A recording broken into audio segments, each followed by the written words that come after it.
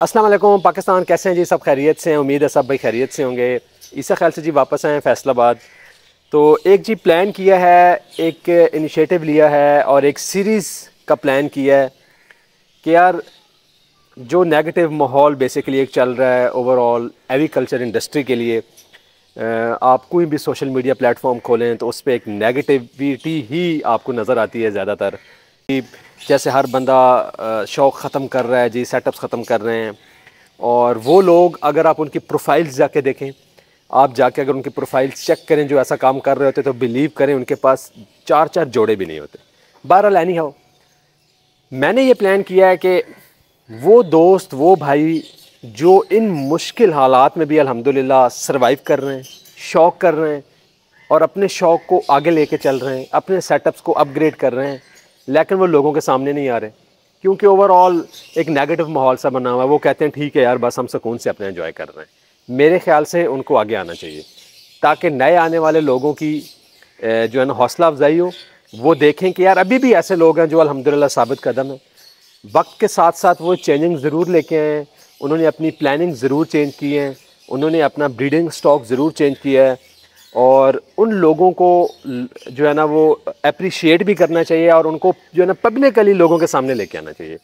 तो इन जी, मैं ख़ुद बजाते, जो भी भाई शौकीन, चाहे वो बजरी गर्ग का है, चाहे वो लब बर्ड का है, चाहे वो फिंच का है, मैं बजाते ख़ुद उन भाइयों के पास जाऊँगा और इन आपको उन सब भाइयों का शौक़, उनकी प्लानिंग्स वो कैसे अपने आप को अपग्रेड कर रहे हैं कैसे वो मार्केट में सर्वाइव कर रहे हैं और उनका क्या प्लान है? ताकि आपको पता चले कि ये जो लोग कोई भी फ़ील्ड, कोई भी बर्ड छोड़ के जा रहे हैं तो ये कोई पहली दफ़ा नहीं जा रहे।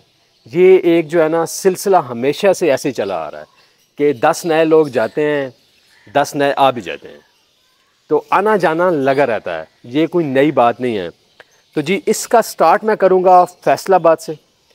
अपने घर से, अल्हम्दुलिल्लाह। और इन जी, आप सब भाइयों को ये दिखाऊँगा कि लोग जो है ना, अल्हम्दुलिल्लाह, अभी भी साबित कदम है। और शौकीन लोगों के पास इन मैं ख़ुद जाऊँगा चल के। और जाके आपको उनका सेटअप उनका शौक़ दिखाना है, ताकि उनकी भी हौसला अफजाई हो, जो पब्लिक देखेगी, उनको भी पता चले कि नहीं यार, अल्हम्दुलिल्लाह हॉबी में अभी भी पॉजिटिव लोग हैं। कहते हैं जी डिमांड एंड सप्लाई का इशू है। मैं बात करता हूँ अल्बाइनो क्रीमिनो से फॉर एग्ज़ाम्पल बेसिक बर्ड से। कि यार यही अल्बाइनो क्रीमिनो था। पिछले साल दिसंबर में, सितंबर में ब्रोकर मिडल मैन बंदा, बीस से बाईस हज़ार का क्रीमिनो मांग मांग रहा था। आठ से दस हज़ार रुपये का अल्बाइनो मांग रहा था। भाईजान, उस टाइम मसला नहीं था डिमांड एंड सप्लाई का। तीन महीने के अंदर कितनी की सप्लाई आ गई है कि भाई जी वो तीस हज़ार वाली चीज़ ही तीन हज़ार की हो गई है। भाईजान, क्रीमिनो वाला बाइनों का ये रेट नहीं है, जिस पे आज लोग ट्रेड कर रहे हैं। फ़ायदा कौन उठा रहा है? मिडल मैन ब्रोकर सिर्फ़ ब्लैक मेलिंग की वजह से। ब्लैक मेलिंग कैसे? एक चीज़ मुझे बीस हज़ार की मिल रही है। उसने अगले बंदे को कहा कि जी, ये चीज़ जो है ना, मुझे तो जी ये बंदा अठारह हज़ार की दे रहा है। उसने कहा मेरे से आप सोलह की ले लें। इस तरीके से करते कराते हर घंटे बाद रेट चेंज हुआ है, आप समझे। और चीज़ आके ब्रेक लगा दी उसने दो हज़ार रुपये अब वो दो हज़ार रुपये जब आके ब्रेक लगाई, अब वो क्या कहता है कि जी, दो हज़ार का भी बेचना है तो बेच दें। पता नहीं इससे आगे ये इतने का भी बिकता है कि नहीं बिकता। भाईजान टोटल ब्लैकमेलिंग कसूर किसका है? ब्रीडर्स का। हम ब्रीडर्स का। भाईजान अगर आप चीज़ जो है ना ब्रोकर के लिए ब्रीड करवा रहे हैं, ना करवाएँ। अगर आप ये देखते हैं कि यार मेरी मार्केटिंग उस लेवल की नहीं है, आपके पास उस लेवल का अभी अगर कस्टमर नहीं है, आपके पास होल्डिंग पावर नहीं है, आप अगर पैनिक सेल्स आपने करनी है, सबसे बड़ा मसले पैनिक सेल्स का हुआ तो भाईजान आप ब्रीड ना करवाएँ। अगर आप ब्रीड करवा रहे हैं, आप अपने बर्ड को फिर संभाल लें। आप दो साल अपने बर्ड को संभाल लें। आप तीन तीन क्लच ले लें, अगर आपके पास एक साल बर्ड संभालने की ज़रूरत है तो। फिर तो ठीक है। अगर नहीं तो भाईजान, आपको एडवाइस है कि फिर आप बर्ड ब्रीड ना करो। चाहे वो कोई भी बर्ड है।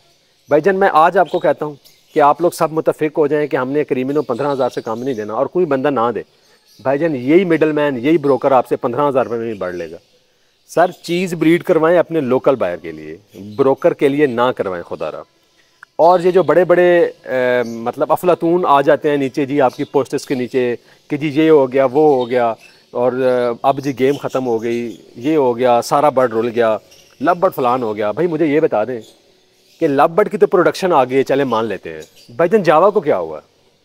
कि वो चालीस पैंतीस हज़ार वाला जोड़ा क्यों आ गया पाँच सात हज़ार रुपये भाई जी डव को क्या हो गया? है कि वो डेढ़ डेढ़ लाख वाला पीस भाजी पंद्रह पंद्रह हज़ार रुपये का हो गया। क्या इसकी भी प्रोडक्शन आ गई है? भाजी सिर्फ़ माहौल बना है, एक नेगेटिव माहौल बना है। अभी हम सब भाइयों को, हर बंदे को अपना रोल प्ले करके एक पॉजिटिव माहौल बनाना पड़ेगा। हर बंदे के लिए, जिसके पास पाँच जोड़े हैं या जिसके पास पचास जोड़े हैं। और हमें ये सोचना पड़ेगा कि हम इसमें अपना रोल कैसा प्ले कर रहे हैं पॉजिटिव या नेगेटिव तो जी, मैं इसका इंशाल्लाह इनिशिएटिव ले रहा हूँ, अपने फैसलाबाद से। इंशाल्लाह जी, उन तमाम भाइयों को मंजर आम पे लेके आऊँगा।